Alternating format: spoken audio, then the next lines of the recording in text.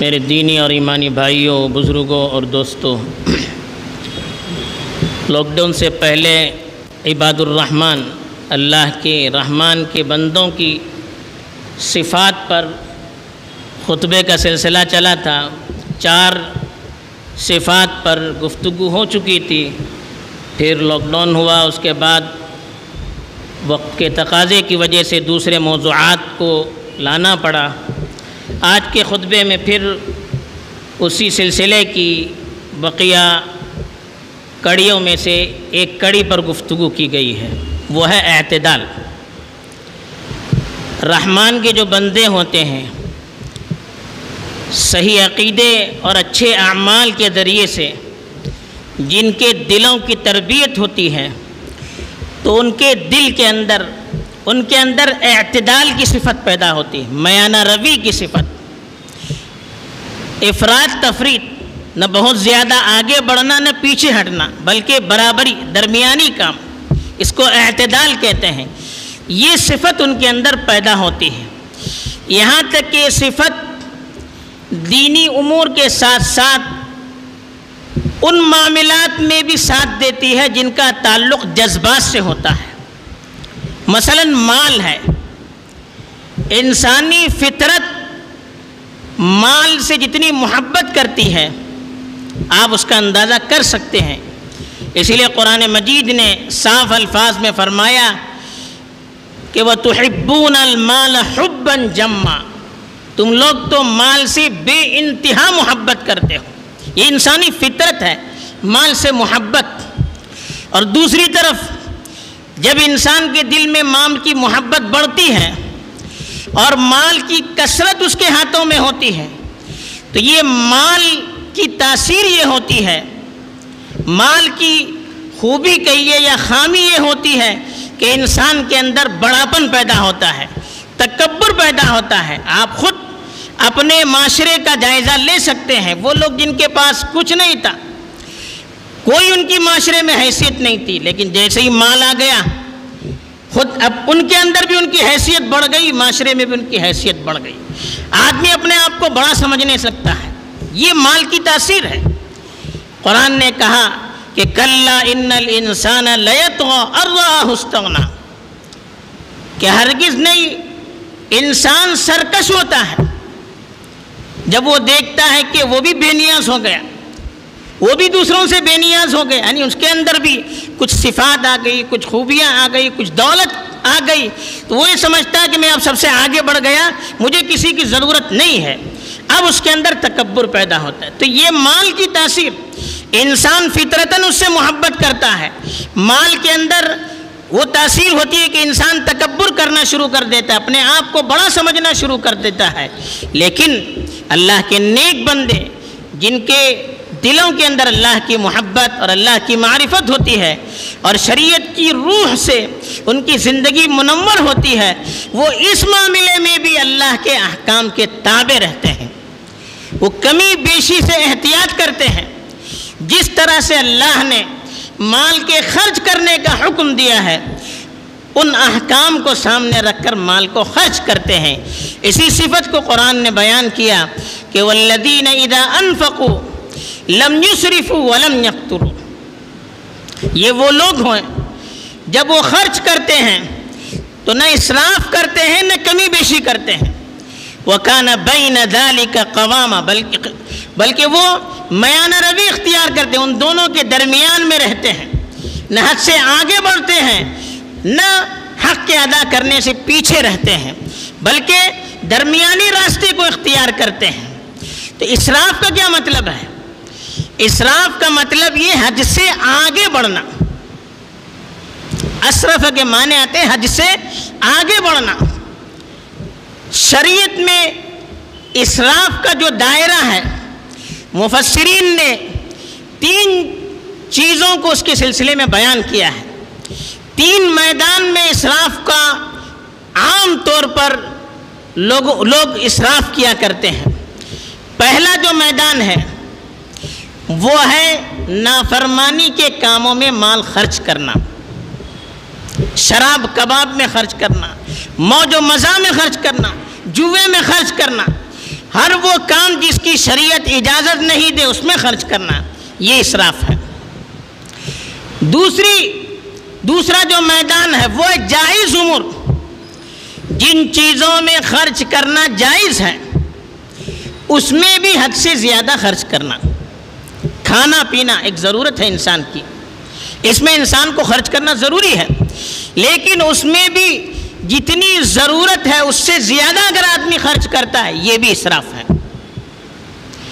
जितने खाने की ज़रूरत है, उससे ज़्यादा इंसान खर्च कर रहा है तो ये भी इसराफ है।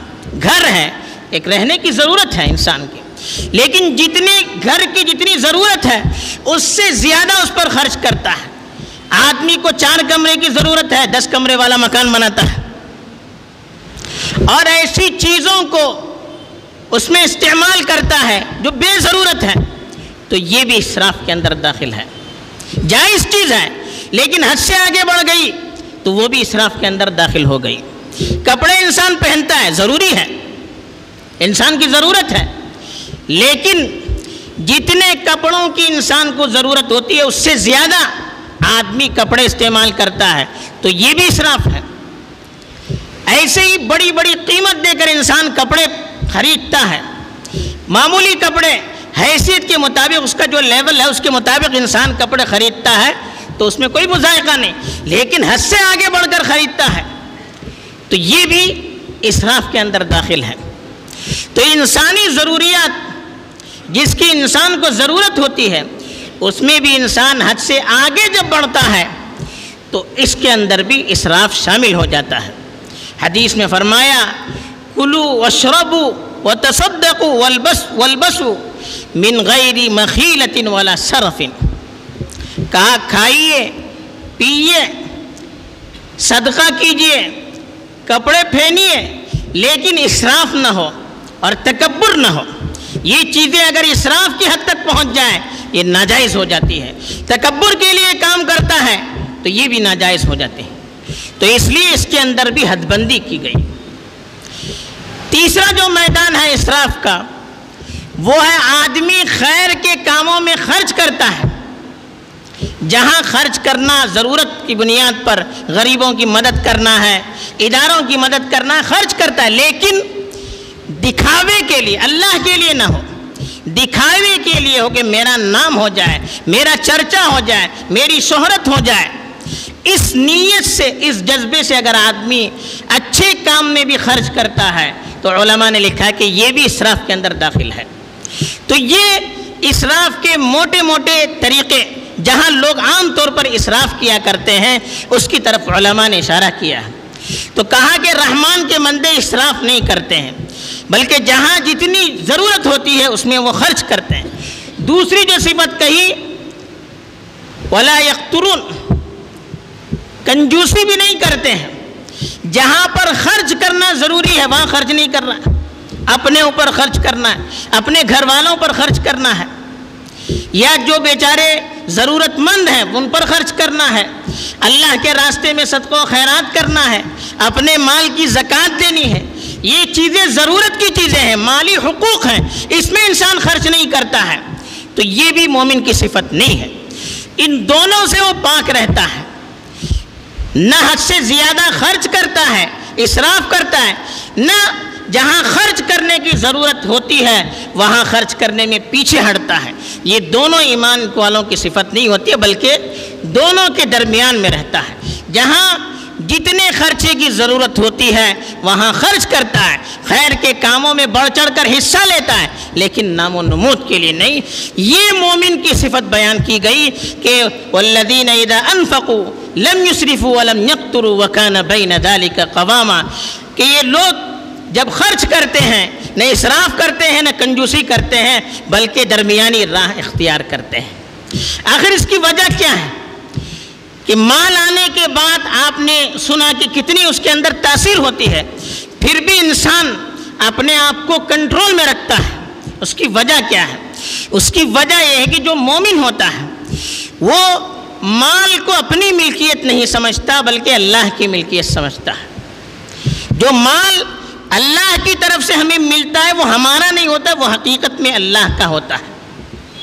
तो जो चीज़ दूसरे की हो, उसमें खर्च करने के लिए जिसका माल है, उसकी मंशा को देखना पड़ता है। मान लीजिए हमारे, हमें किसी ने वकील बना दिया, अपना माल दे दिया कि फला फला फला मद में आप खर्च कीजिए।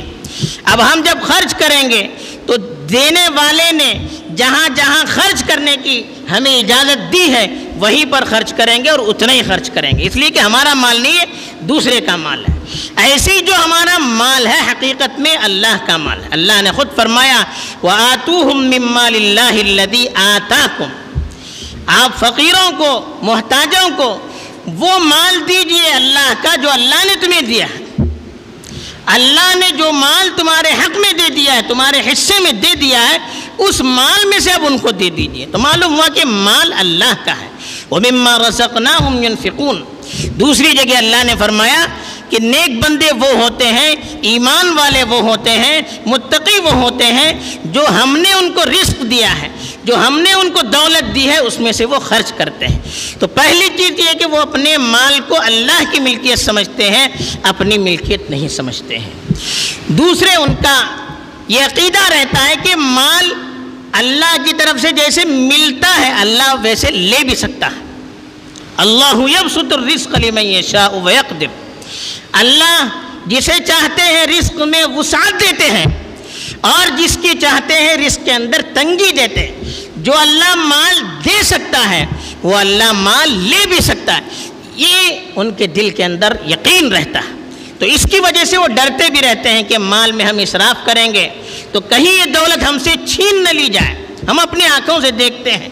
कितने मालदार आज उनकी हैसियत कुछ भी नहीं है। कितने गरीब आज उनकी हैसियत बहुत बढ़ चुकी है।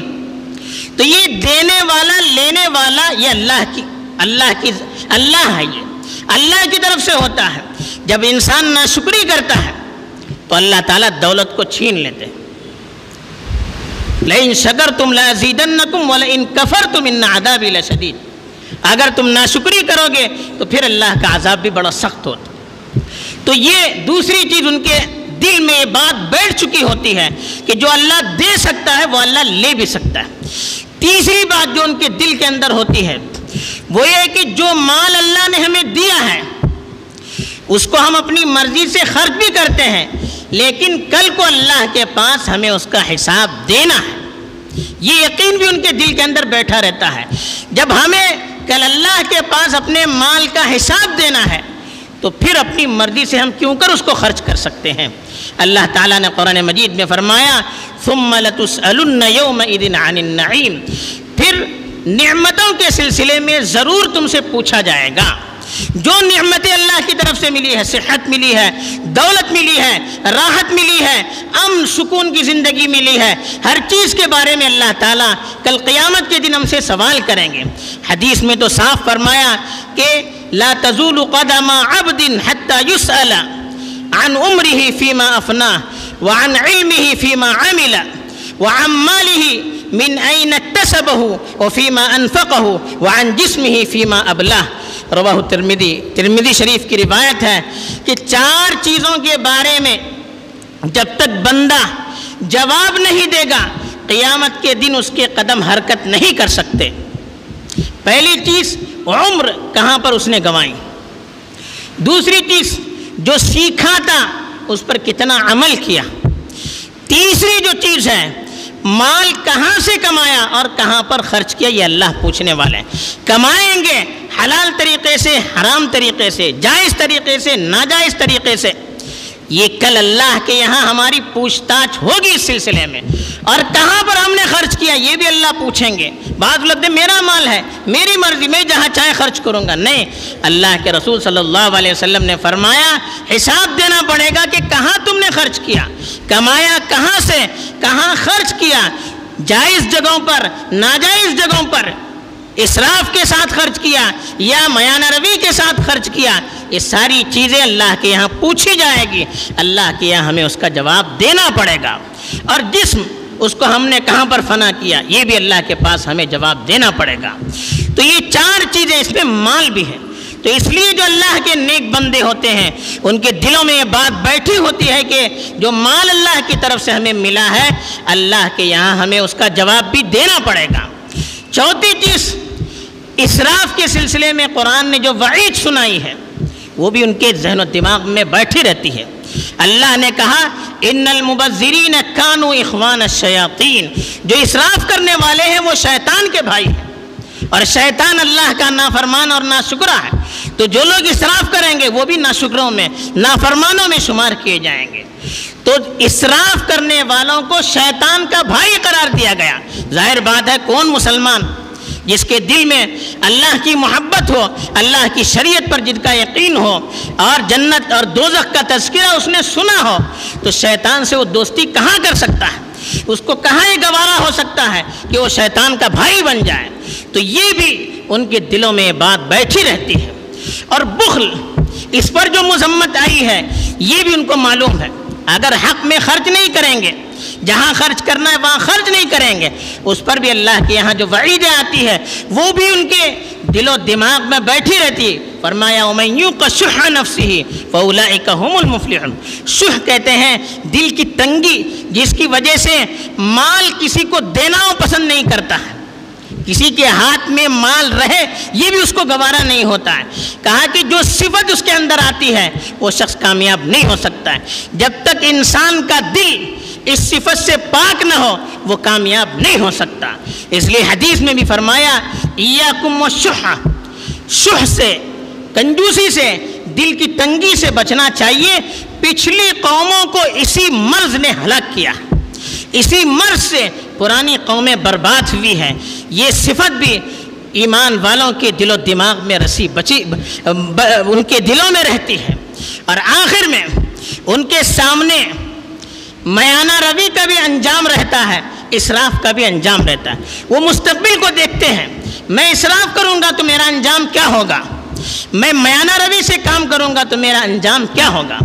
इसराफ के सिलसिले में ख़ुद कुरान ने कहा कि फ़तक मलूम महसूरा। जो इसराफ करता है, या कंजूसी करता है, वो अफसोस भी करता है।